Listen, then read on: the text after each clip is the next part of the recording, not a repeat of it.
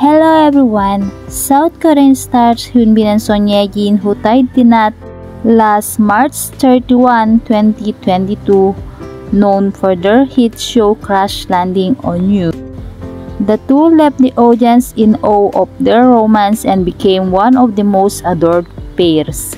However, did you know that Hyunbin manifested working with Son Ye-jin after working with her on their 2018 film The Negotiation.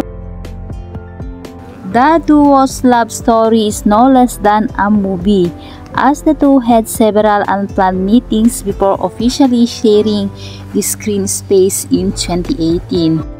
However, they crash landed in our hearts with the drama Crash Landing on You and finally tied the knot in March 31, 2022. Hyunbin and Son Ye-jin's pair was a hit in the action thriller and fans wanted to see them together again. But not only fans but also Hyunbin wanted to work with his wife again. Months before Crash Landing on You's filming began, Hyun Bin spoke with Esquire Korea and revealed the reason behind his willingness to work with Son Ye-jin.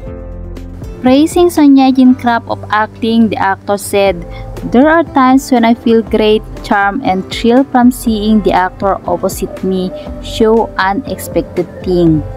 There also a thrill to my own reaction to that acting. While filming the negotiation, I saw that in Son Ye-jin, so I thought I want to try working with her again.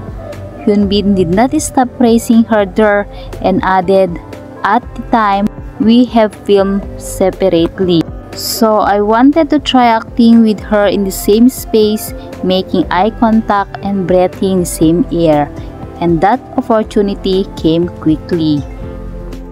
We are glad that the two decided to work again and gave us a beautiful love story.